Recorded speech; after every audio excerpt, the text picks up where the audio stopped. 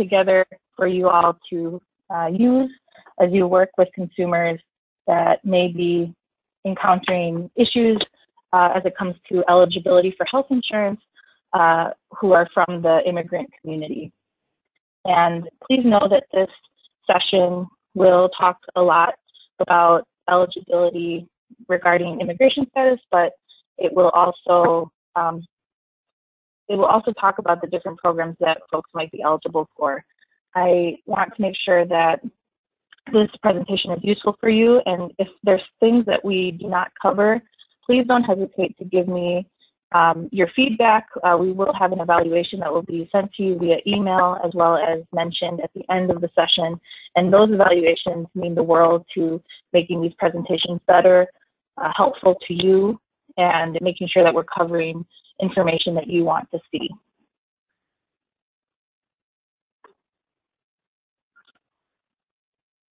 My name is Caroline Gomez Tom. I'm the project manager uh, of the Milwaukee Enrollment Network, as well as the program manager of Covering Wisconsin's Navigator program. Today, uh, we'll be talking about immigration status as it pertains to eligibility rules, particularly for the health insurance marketplace, as well as Wisconsin Medicaid programs. Um, we will not discuss other areas of eligibility, so please know that uh, when we're talking about this person may be eligible, I am not, uh, the reason I'm using the word may is because we're not talking about income, we're not talking about no, other non-financial eligibility factors, uh, we're not talking about particularly um, household size versus uh, modified adjusted gross income. This is really specific to immigration status and there are so many other factors that may make that person eligible or not. So please know that this is not a steadfast rule. This is um, a conversation about what common immigration statuses would allow someone to uh, qualify for if everything else kind of lines up. Uh, and we'll also discuss some scenarios and common cases where we see people who might find themselves eligible based on their immigration status. But uh, I want to make sure that this disclaimer is known right up front that the only and best way for someone to find out if they qualify for health insurance uh, is applying directly through access.wi.gov for the state Medicaid programs or healthcare.gov for the health insurance marketplace. And it will only be once they actually submit a full application that they will know if they qualify for these types of coverage.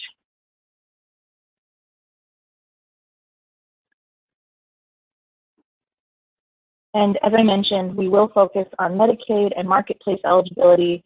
There are other types of insurance that might be offered to these individuals and families, like health insurance through an employer, uh, Medicare. Um, there might be uh, uh, essentially individual insurance that they can buy outside of the marketplace. We will not be discussing those options, but I want to make sure that you are aware that these exist, uh, that there are resources that will help uh, with those types of coverage. For example, covering Wisconsin, we have our affordability worksheet to find out if employer coverage is considered affordable for a family or, or whether or not they would be able to go to the marketplace for financial assistance. We also have our health insurance options sheet that walks through kind of the different types of coverage and kind of what you need to consider first before you even get to Badger Care Plus in the marketplace for a consumer.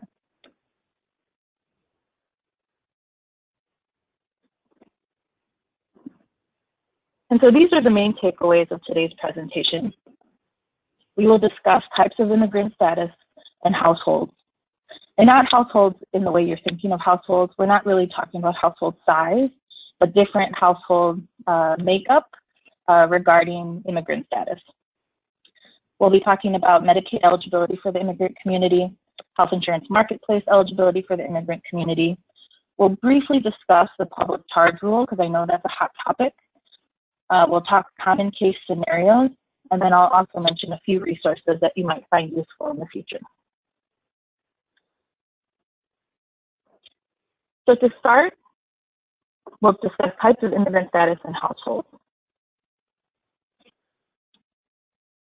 So each program, Medicaid and the health insurance marketplace, have different ways that they define um, an eligible immigrant. So on Medicaid, we have people who are U.S. citizens or qualifying immigrants. And for the health insurance marketplace, they use language a U.S. citizen or national or be lawfully present. And if you just take a look at these terms, that's not really telling you much. So what we're going to talk about is what does that really mean for each uh, program. So for Medicaid programs, uh, U.S. citizen or qualifying immigrants can qualify for these programs. Um, no, I'm not talking about emergency services or prenatal services on this slide, but we will talk about those programs. But what they're looking for in terms of eligible immigrant status, most commonly are U.S. citizens, children, pregnant women, and adults, refugees and asylees, children, pregnant women, and adults, permanent residents, uh, children, pregnant women, and adults who have permanently, or I'm sorry, who have been permanent residents for five years. So uh, the five-year rule is kind of important when you're talking about permanent residents uh, because that will come up uh, later in our presentation, and this can be a barrier uh, for an individual who technically has a qualifying immigrant status, but because of the time limit is not met, they do not qualify for Medicaid. So really we're talking about children, pregnant women, and adults who have been here for five years. Children and pregnant women do not have the five-year waiting period applied to them. Uh, adults do, and um, and so that's that's an important uh, factor to keep in mind.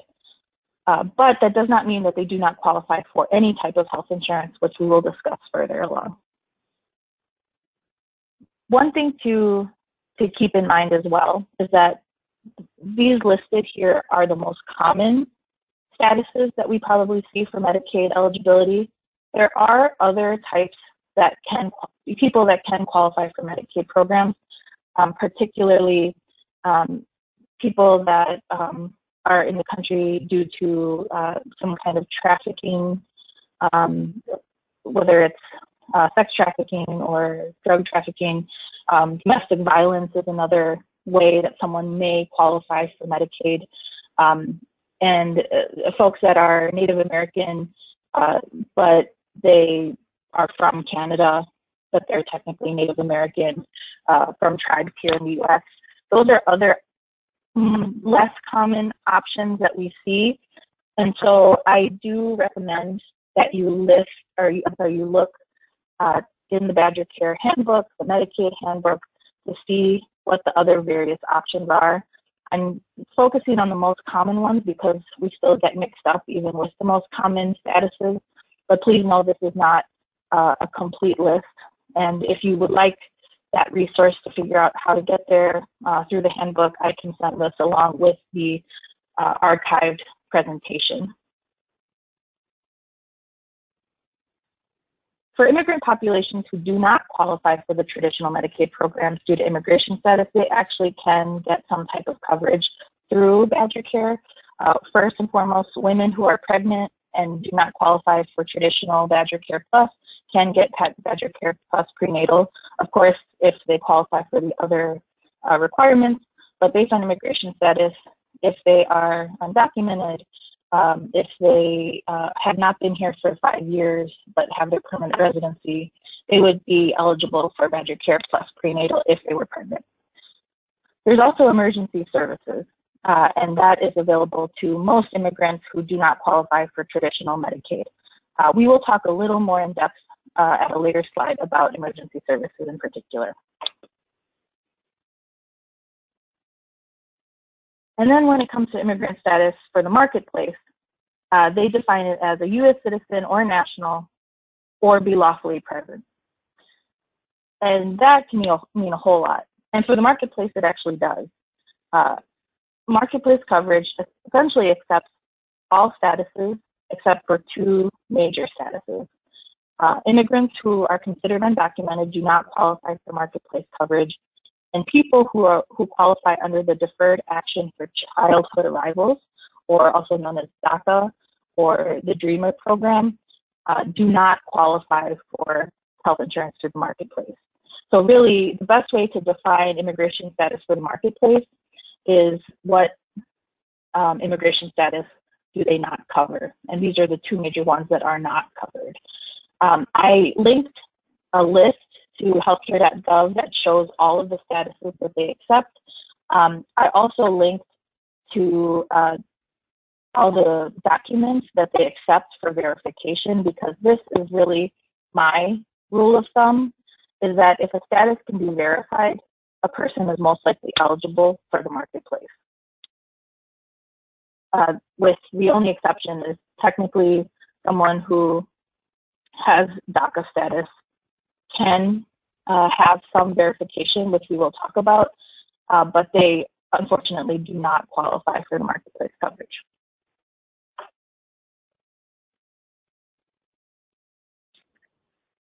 And when we had the modified adjusted gross income presentation um, several months ago, we talked about household size and why it matters. And household size matters because it's how people find out what they qualify for in terms of Badger Care Plus eligibility and financial assistance in the health insurance marketplace. But beyond the average person who qualifies for these programs, household also matters for the immigration family um, or a family of immigrants because of immigration status. And each person may qualify for a different health insurance option, but in families of immigrants, they also may be impacted by um, the fact that some family members may qualify for coverage and some might not be eligible at all. And so these are what we consider mixed immigration status families, uh, a mixed immigration household, um, and and this is more common than most may think.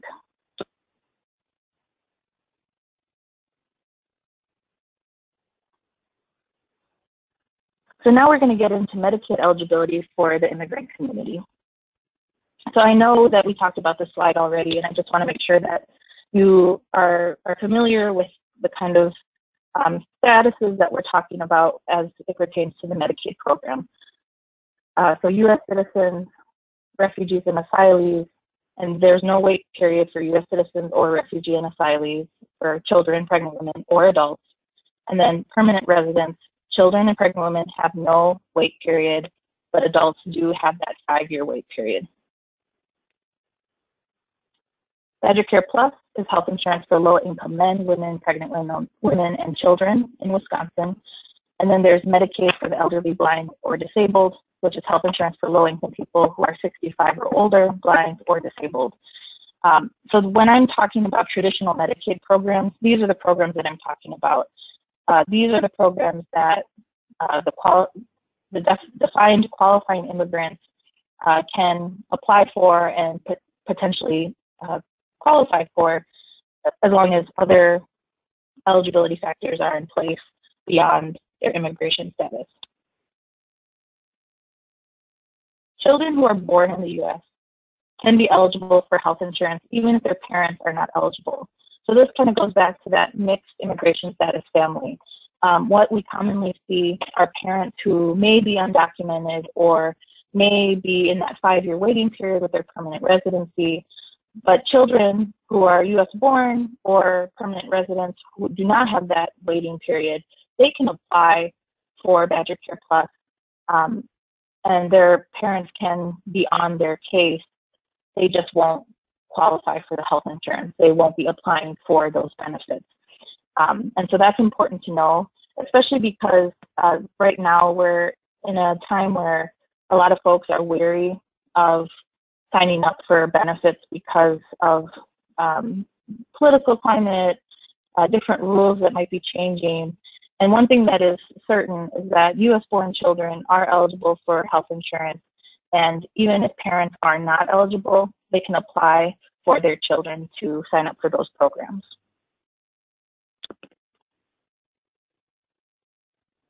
So the Medicaid programs that are not or are for non-qualifying immigrants as defined on those previous slides um, there are two major ones, Badger Care Plus Prenatal, which is health insurance for pregnant women who do not qualify for traditional Medicaid programs, Badger Care Plus, due to immigration status. So a woman who is in that five-year waiting period for her permanent residency, um, a, a, woman who is undocumented, uh, a woman, frankly, with any other status beyond permanent residency beyond five years, uh, U.S. citizen, refugee, or asylee can qualify for Badger Care plus prenatal uh, as long as the other eligibility factors are taken into consideration.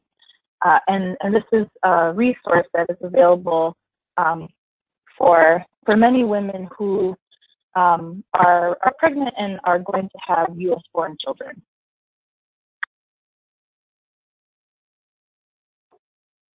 The other program that is commonly used for folks that do not qualify for traditional Medicaid programs is emergency services.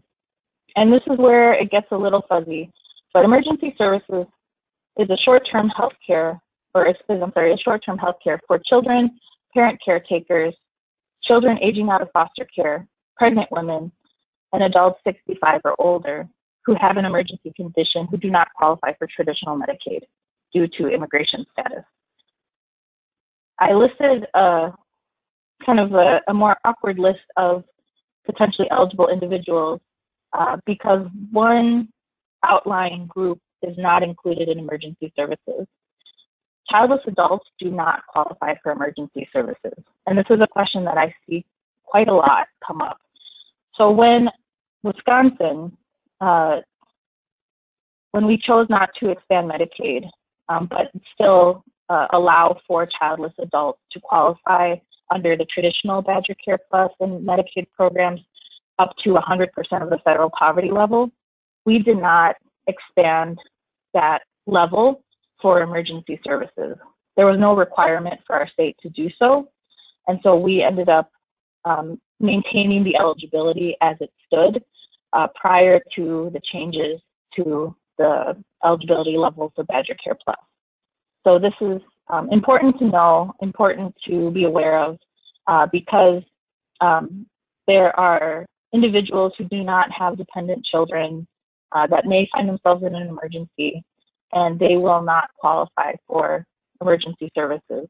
Um, it will have to be, uh, you know, through the free clinics, health centers, or community health centers, uh, and the larger health systems uh, to determine how they will help those individuals uh, pay for services um, if they're not able to, to cover the costs.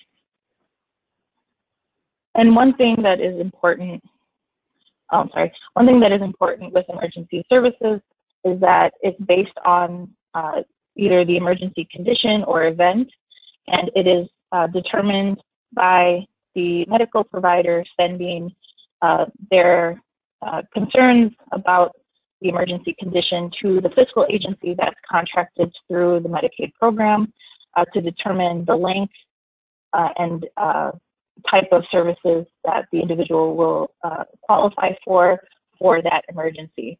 And so there are some cases where it's a one standalone incident um, that that is impacting the individual.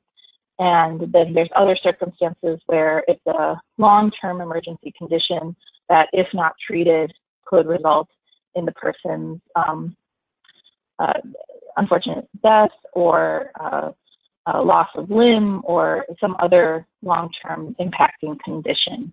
So it's not that we're talking about one particular event, but it will be determined by the medical provider seeing that patient along with the fiscal agency working for the Department of Health Services. So it's not, it's, there's no real steadfast law or rule that defines the emergency. It, I mean, there is a rule. Let me back up. There is a rule that defines an emergency, but it's not. Um, there's uh, different ways to look at these emergencies as they in, impact the individual for eligibility.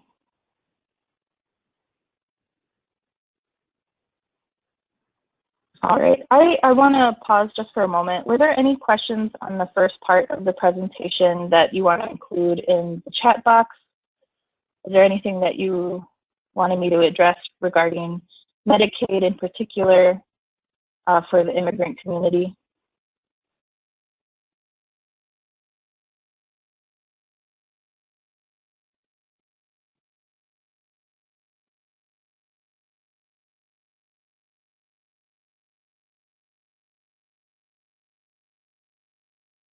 All right, seeing no comments in the chat box, I'll, I'll leave those questions for later on. And we'll get to the next section, which is health insurance marketplace eligibility for the immigrant community. So as I mentioned, the marketplace uh, can feel almost like a catch-all for other types of immigrant statuses. Uh, immigrants who are considered undocumented and people who qualify under the Deferred Action for Childhood Arrivals, DACA, are really the only uh, two statuses that do not qualify for marketplace eligibility. Uh, and so that is, um, that leaves eligibility open to a lot of other different uh, categories of immigration statuses. For example, folks with student visas, uh, folks who are um, are here with a work permit, um, folks who are uh, here um, wow, I'm like blinking on, on the list. There's a lot. um, and so I do recommend going to that link that shows all the statuses because there's, there's actually quite uh, a long list of statuses that people may be eligible for uh, for marketplace coverage while they're in the country, whether it's temporarily or permanently.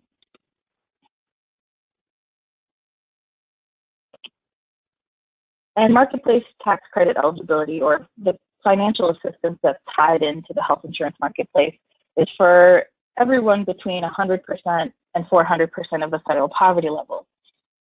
But I want you to mark this uh, specific uh, difference for the immigrant community. Immigrants in the five-year wait period or um, whose immigration status does not allow them to qualify for Medicaid can also get marketplace coverage.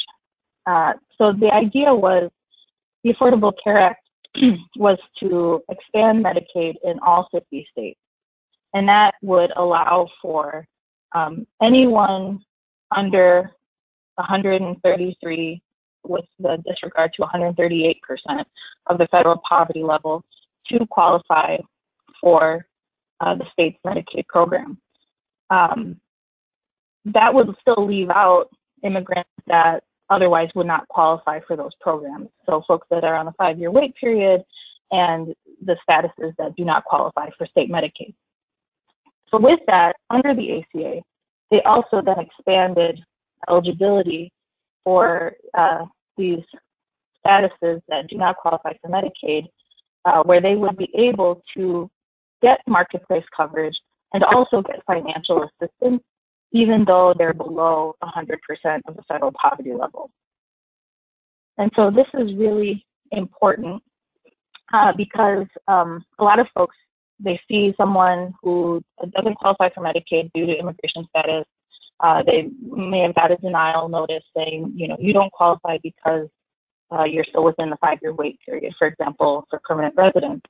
Um, so this is key to then recognize that that individual could still get marketplace coverage. Um, I'm putting on the screen right now the question that is really crucial when you're uh, in the marketplace application uh, to check correctly so that you are uh, processing the application for tax credits even if their income is below 100% FPL. So when it's asking, were any of these people denied coverage through Care Plus, uh, through these programs due to their immigration status in the last four years, you would check the box for that consumer.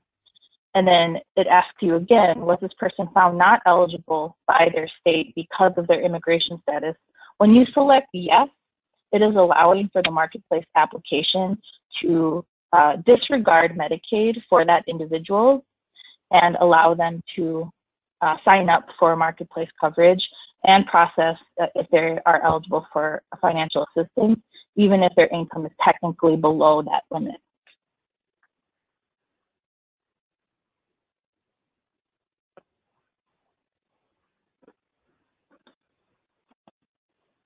Also, we know that the health insurance marketplace, or really under the Affordable Care Act, uh, it was a requirement to have health insurance. Uh, the tax penalty does not apply starting in 2019, but one of those exemptions uh, for immigrants in particular were the folks that do not qualify for any type of insurance. So, really looking at the folks that are under DACA or folks that are considered undocumented um, they would qualify for an exemption. They were never required to pay a penalty for not having health insurance themselves. Uh, if they have US born children or family members that are within their tax filing household that do qualify for health insurance, but they did not have health insurance, they would still have to pay a penalty for those individuals, but not for themselves.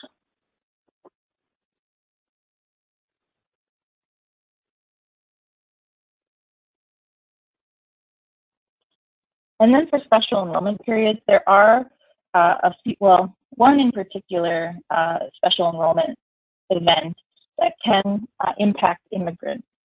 Uh, one in particular is immigration status change. If someone becomes newly eligible, uh, either they uh, became citizens or they became lawfully present in the US, they have a 60 day window to enroll in the marketplace. And this is actually a common one that I see, especially for new uh, immigrants that maybe um, were waiting uh, to come to the U.S. for their uh, new status to kick in. And um, one of the first things that they do is they talk to part or people in their community that um, have health insurance coverage or have been assisted by one of our enrollment assisters, and then they get referred to us uh, because they want to know if they qualify for insurance. And if it's within 60 days, uh, so 60 days of either the date on the card of whatever that new documentation is, um, so whenever they were uh, processed as eligible or processed for that new status, or the day they received that documentation.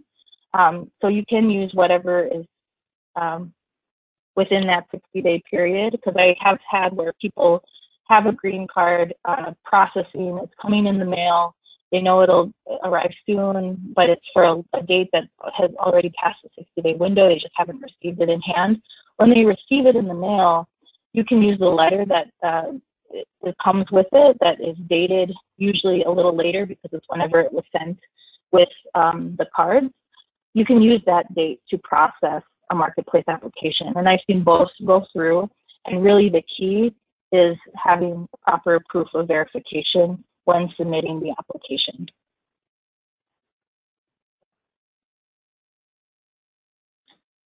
So I see that there's some questions in the chat box, and so I'm going to see if I can address a couple of them before we move forward. Um, and if there's any questions regarding marketplace eligibility um, and the different things that we've discussed, please feel free to add them along. I'll see if I can address a few now, and then if need be, um, I will uh, address some of them at the end.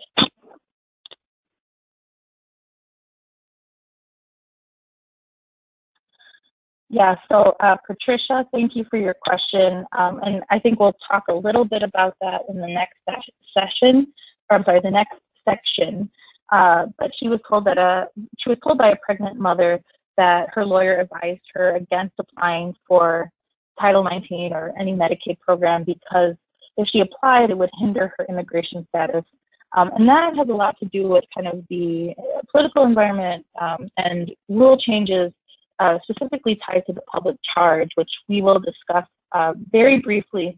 But um, this is something very common that we're seeing is that uh, immigration lawyers that are working with individuals that want to uh, eventually become permanent residents or want to become U.S. citizens, um, they are uh, telling their their clients that they should not accept any public benefits.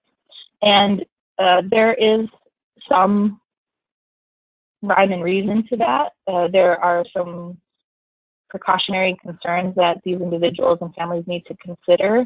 And it is, at the end of the day, the choice of that individual what we can do best, and one of the reasons why this presentation was even prompted, is we can at least let them know what they are eligible for. And at this point in time, they are eligible for uh, the prenatal program, the health insurance um, through uh, marketplace, potentially eligible for the Medicaid programs.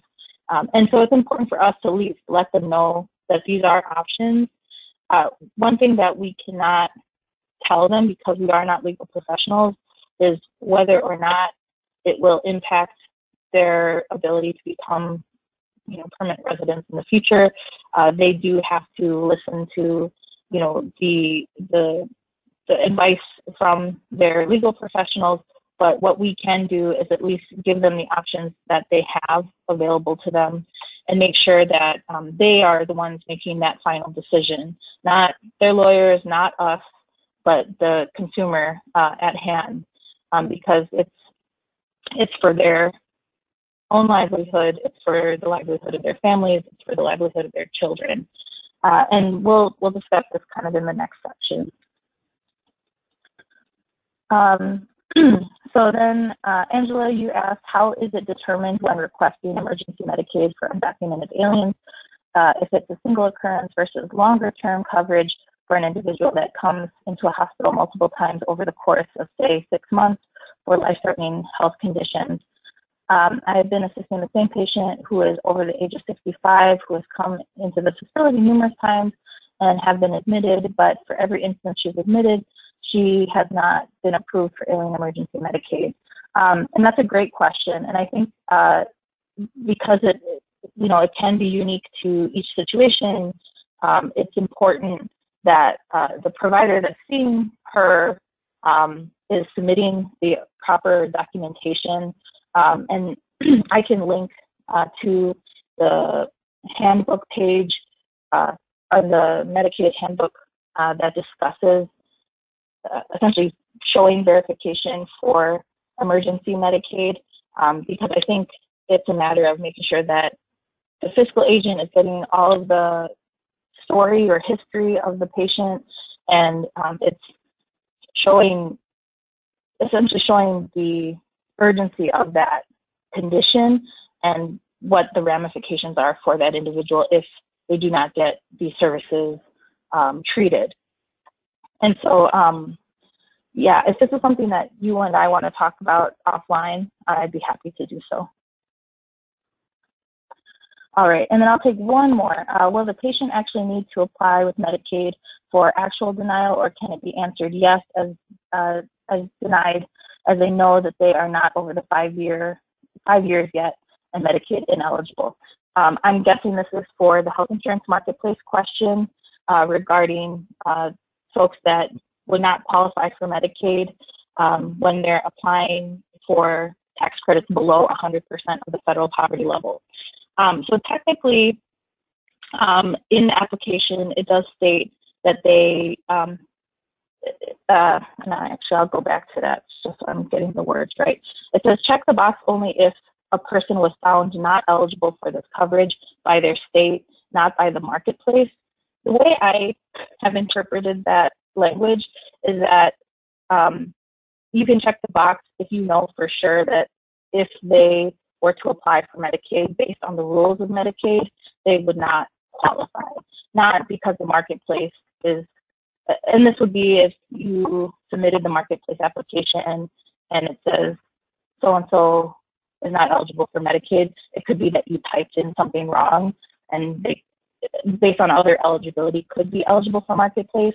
But because we know the rules uh, for Medicaid eligibility for the immigrant community, uh, we can just check that box and um, continue on with the application. Uh, I would not go through the rigmarole of applying to access, getting them a denial, even though you know that they're going to be denied, and then going back to the marketplace. That's um, in, in um, inefficiency for uh, for you. It's not helpful to the patient at hand or the consumer at hand, and it's just going to uh, elongate the process when we could be getting them coverage right away. Okay, so I'll leave, or looks like we have a couple more, or we have one more, but I'll leave that one uh, for a little later. Thank you for your patience.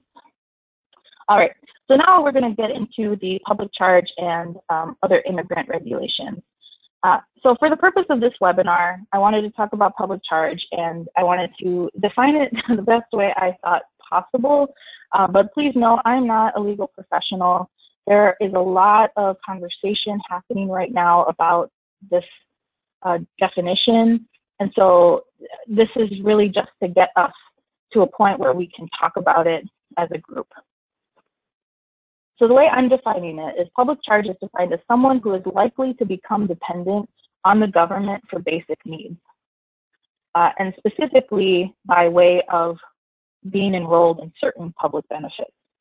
So if someone is considered a public charge by the Office of uh, U.S. Citizenship and Immigration Services, this can impact their future eligibility for uh, gaining a qualifying immigrant status, gaining permanent residency, or becoming a U.S. citizen. So, so that's kind of our, our loose definition. Um, when we're talking about public charge, though, the reason that it's such a hot topic right now, because this has always been in place, um, is that just last, at the end of last year, uh, the federal government came out with a proposed change to what programs are considered under the public charge rules um, to determine someone who uh, is a, a public charge on the federal government or the government at large. so before, well, currently, the programs that are included in this definition are cash assistance programs like TANF or Wisconsin Work, programs for long-term care. Uh, for example, if someone um, uh, essentially has a long-term um, hospital stay that is beyond what's considered rehabilitative, that could be also defined as someone being a public charge. Um, and then supple, uh, supplemental security income or SSI uh, are the the main uh, programs under public charge that could impact someone who is trying to become a permanent resident or a U.S. citizen in the future. What was changed in the proposed rule uh, is that they started to include other programs that current immigrant populations may actually be eligible for, uh, like non-emergency Medicaid, which would be BadgerCare Plus, Medicare Part B uh, for low-income folks, so the uh, prescription subsidy program, food share, and then several housing programs are also included. And so one thing that we have seen just from the proposal of these changes are folks talking to immigration lawyers and being um, guided to either disenroll or not enroll in certain programs. Um, we've seen programs that aren't even listed impacted, like WIC. Uh, we've heard a lot of people not enrolling in WIC. Um, we've heard of uh, families not enrolling their US born children into certain programs because they also think it might impact uh, their likelihood of gaining lawful status.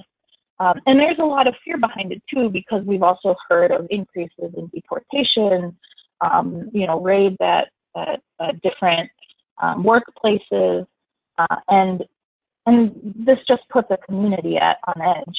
Um, if this is the difference between gaining services that may help your basic needs uh, versus separating your family, it really puts someone between a rock and a hard place. And so um, this is not an in-depth review of the public charge. Uh, this is really meant to just educate you basically on uh, what is going on and what some concerns are beyond um, essentially our expertise as enrollment assisters. But I do want to emphasize that right now, the rule is not final. Uh, there's no way to know what will be included in the final version of the rule because there has been, uh, there were thousands of comments that were submitted to the federal government and they do have to review every single comment that was submitted. That is one of the reasons why we do not have a final rule published at this time. And once we know what is final, we'll have a better grasp of what we should be telling consumers. Um, one thing that I do recommend is to read up on this issue. Uh, I want um, I want you to at least feel that you have a, a decent grasp on what it pertains. And please know that we can only tell folks uh, what they're eligible for at this point in time. And it is their decision at the end of the day, once hearing our thoughts and thoughts uh, and advice from any legal professional they're working with to determine what they think is best for their family. To continue learning on this issue, uh, the Wisconsin Primary Healthcare Association, or WIPCA, uh, is working with Covering Wisconsin. We're putting together a plain language document to help our community partners understand more about the public charge and other uh, immigration rules that may be impacting uh, the choice of families to enroll in these programs. On May 9th, we'll actually be doing a follow-up webinar to this one on the intersection of immigration and public benefits. And this will be in collaboration with WIPCA and then um, End Domestic Violence uh, of Wisconsin, Legal Action of Wisconsin, and a couple other uh, key partners uh, that have that legal expertise. So please watch out. Uh, we'll be doing a registration soon once we can get um, everything confirmed for that day. Any other questions about um, public charge? Um, I won't get to them just this moment, but I want to make sure that you guys are, are plugging them away in the chat box and I can address them at the end of the session. And if I can't address them, um, I can take any public charge related questions uh, back to our partners uh, who are collaborating for that webinar and we can make sure that they're addressed on that May 9th date. All right, so now that we've gone through Medicaid eligibility, marketplace eligibility, we've discussed kind of some nuances between um, enrolling in these programs and how different statuses may be eligible. I'm going to put you all to the test. So if you are using the chat box feature, I'm hoping that you will uh, humor me with some interaction in this webinar as we go through a couple case scenarios. So let's start off easy we have a student, uh, Muhammad, who is 19, is a student at the University of Wisconsin-Milwaukee. He has a student visa. What health insurance program might he qualify for?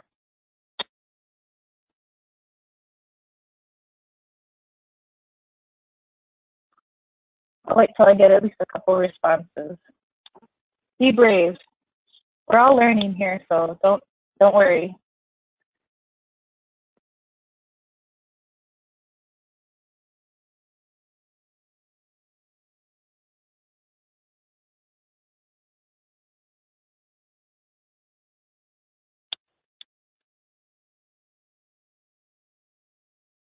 Interesting. Okay, so I am getting mostly marketplace. A couple of folks are thinking Title 19, and a few have mentioned emergency services.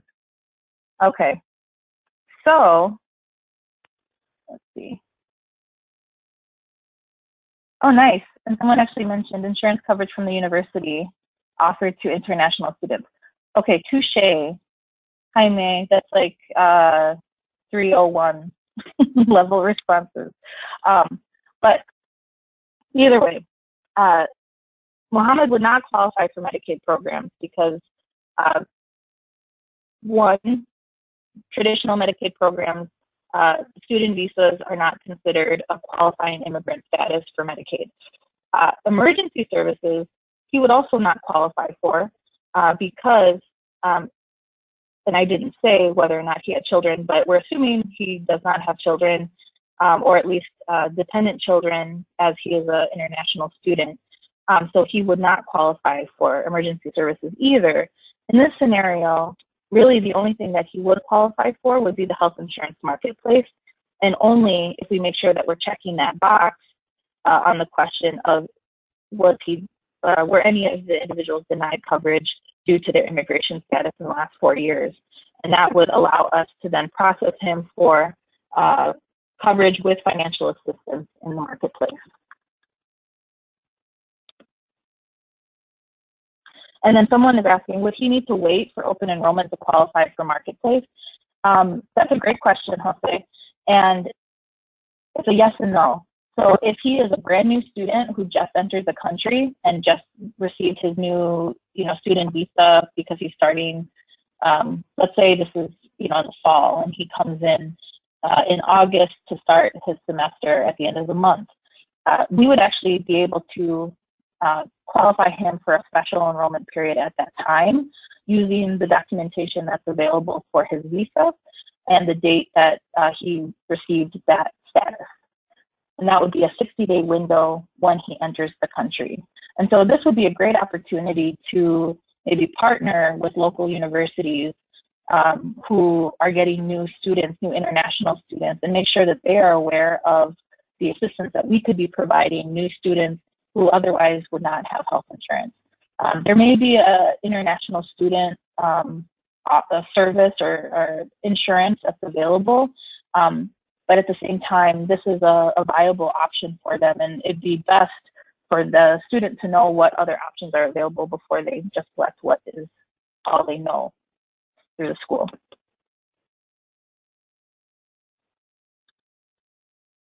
All right.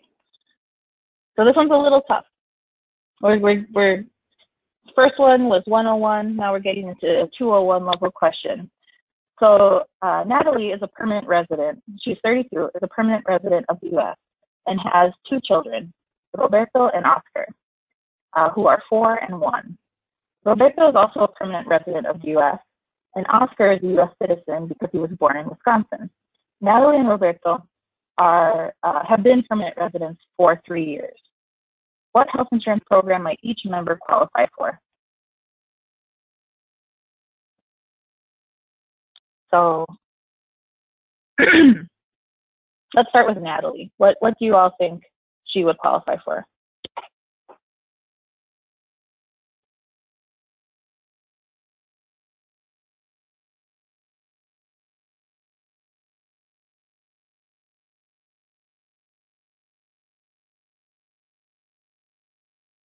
Love it. Love it. Love it. Love it. Okay. So most of you are on on the money. So for Natalie, uh, she would be eligible for marketplace. It would still be the five-year wait period because she is an adult, and so we would have to answer that same question for her in the marketplace application, so that we were looking at um, financial assistance and that she was not being processed for uh, for marketplace. I'm sorry for Medicaid. Um, and this question uh, is just best if you know that they're in that five year wait period, even if their income is over that limit, it's just kind of a safe uh, bet to answer that question appropriately to make sure that they're not sent for any reason. Um, because it, it, can be a little fuzzy if we know uh, that they're right on the cusp and, you know, in any other circumstance, maybe Natalie would be gap filling eligible. We don't even want to go there because we know that based on Wisconsin law, there's the five year wait period and she just would not be eligible for the program whatsoever. So rather than waste her time having to go through a, a Medicaid denial, let's just get her on the coverage we know is right for her, and then um, her children would be eligible for Medicaid, which a lot of you have already said. So since Roberto is a permanent resident under the age of 19, the five-year wait period does not apply to him and he would be eligible for BadgerCare or the marketplace, depending on the household income and size and everything like that. Oscar, because he is a U.S. citizen, would be eligible for BadgerCare in the marketplace as well. Wonderful. You guys are doing great. So then finally, our last family. Francis and Vanessa are married and are undocumented immigrants. They have three children Samuel, who is 20, Monica, who is, I say 11? Sorry. Um, 16, sorry, 16, and Eddie, who is 9. Monica and Eddie are U.S. citizens. Samuel has a work permit and a social security number through the Deferred Action for Childhood Arrivals program. What health insurance program might each family member qualify for? I'll wait for some of your responses.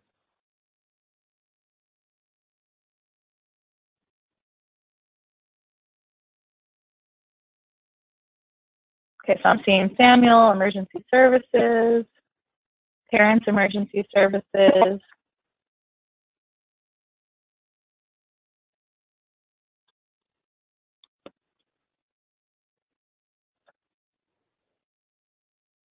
Don't be shy. I know this one's tough.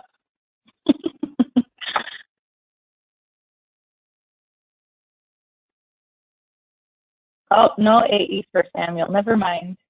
you guys are correcting your responses. Let's see. Francis and Vanessa, only emergency services. Samuel, emergency, and Monica and Eddie, Medicaid or marketplace. Okay, do you have your final answers locked in?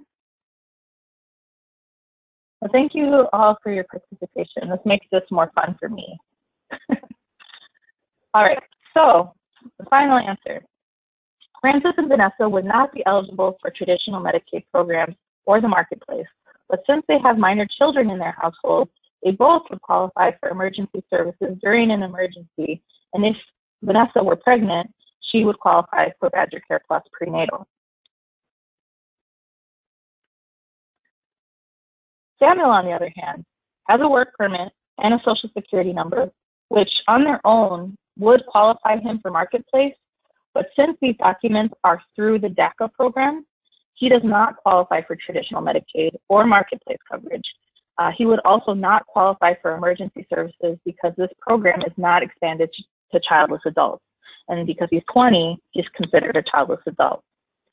Samuel would be able to seek care at a safety net health center or clinic. And that would really be Samuel's major options in terms of um, health, and, well, not health insurance, but health care. And then Monica and Eddie, the children, would qualify for BadgerCare Plus or the Marketplace. Even though their parents are undocumented, they would have the right to apply to either program as U.S. citizens, and the household information would only be used to determine the eligibility of health insurance. So this is important to note. Um, both uh, the BadgerCare Plus Medicaid programs and the health insurance marketplace do not share information to immigration. Um, the only thing that they are determining for is health insurance coverage for the family, and folks that are undocumented do not need they do not need to share um, their social security numbers, especially if they don't have any, um, if they're not applying for services or coverage themselves. It's only for the individuals that are applying for those programs. And so they can still be within the household on the application, they just would not be seeking services. All right, so now we're just gonna run through a couple resources uh, Covering Wisconsin has a how-to sheet for in, uh, enrollment community partners on undocumented immigrants.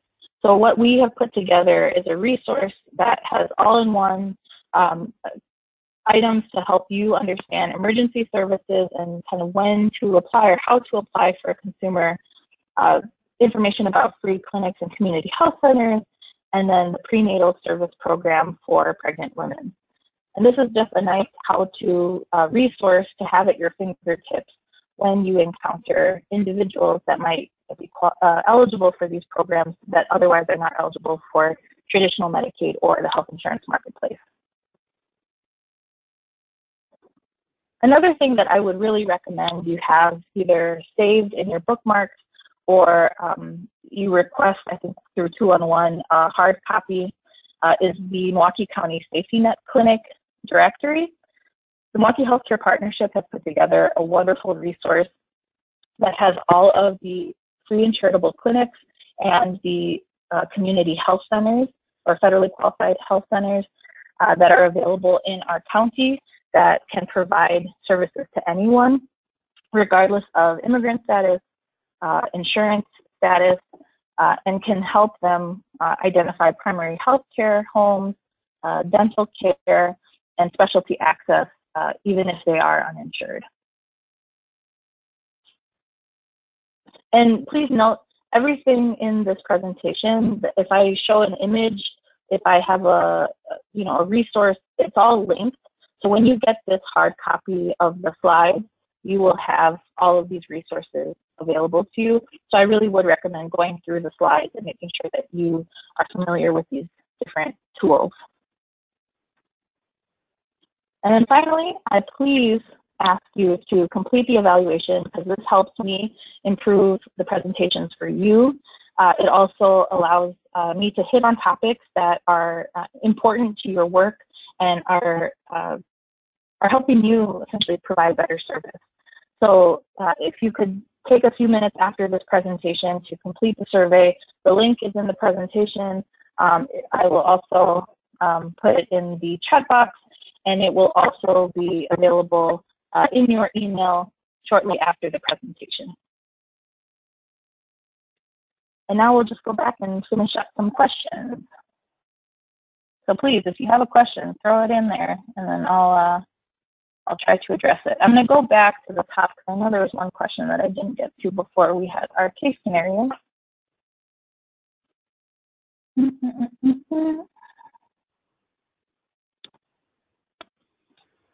All right, so Claire asks, what if a child who is US born and has undocumented parents who are currently out of the country and unreachable and is living with other relatives in a safe place? Can that, can that relative apply for the child? The child is a homeless, unaccompanied youth at this time. Um, absolutely, that's a great question. So if they're living in a household where um, they're living with uh, relatives, uh, they can apply for uh, BadgerCare, Medicaid, um, with their caretaker, essentially parent or caretaker, um, on the head of household of the application, and um, they would be applying for that child on behalf of, of, of the child. And it doesn't need to be their parents who are not living in the country, for example. Um, and depending on the age of the child, if, if it's a older teenagers, there are some circumstances too where the child would be able to apply on their own as a homeless youth. Um, so, so both scenarios are possible. And so I would really recommend that you um, uh, work with the local BadgerCare office through MilES, uh, apply through Access. If you have any follow-up questions, don't hesitate to reach out to me or to reach out to our partners at Department of Health Services. Great questions, guys. You guys came up with some really good questions. And finally, I think there was a few at the bottom. Let me get down to there.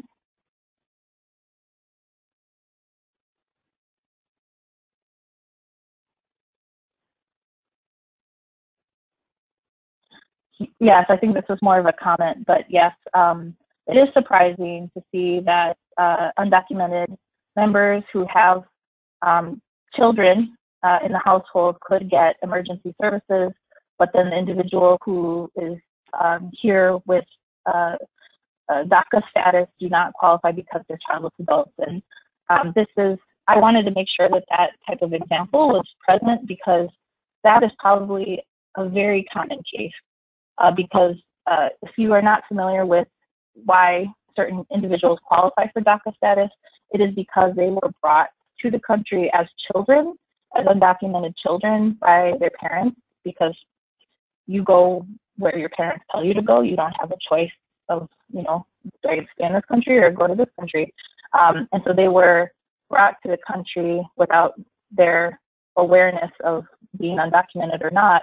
Um, and so they get essentially this temporary protection. Um, but because this was um, not a full law that was passed through Congress. It was an executive order under the President Obama administration. Um, there was a lot of services that weren't included in this protected status. So even though they have a work permit, they have a social security number, um, they are not eligible for many programs, um, including healthcare, housing, um, just really the list goes on. Uh, and so I'm glad that you found that helpful.